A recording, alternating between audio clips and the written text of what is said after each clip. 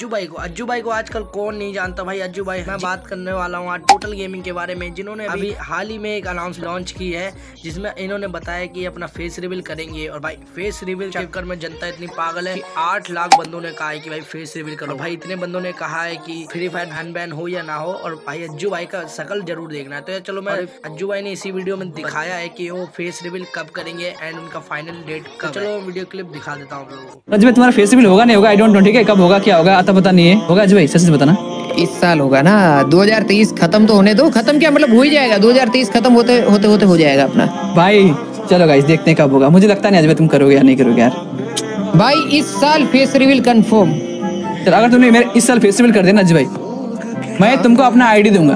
तुम जितना डायमंड उड़ा सकते हो उड़ा के दिखाना। डन है। आईडी रेडी रखो भाई इस साल के एंड तक में हो जाएगा। चलो इस साल अगर 2023 में 2023 में अगर तुमने फेस्टिवल कर दिया ना मेरे आईडी में 1.7 मिलियन डायमंड है। अगर तुम पाँच छह लाख डायमंड उड़ा दोगे मेरे को प्रॉब्लम नहीं है चलो। अंजू भाई ने यार फाइनली डेट बता चुकी है कि इस साल के एंड एंड में ये फेस रिवील कर देंगे फाइनली एंड यहाँ पे भाई ऑडियंस पागल हो चुकी है इनके फेस रिवील के लिए। आज की वीडियो में बस इतना ही। मिलते हैं नेक्स्ट वीडियो में। एंड ये वीडियो अगर आप लोगों को बिल्कुल भी इंफॉर्मेटिव लगी हो प्लीज़ यार वीडियो को लाइक करके चैनल को सब्सक्राइब कर देना। तो मिलते हैं अगली वीडियो में।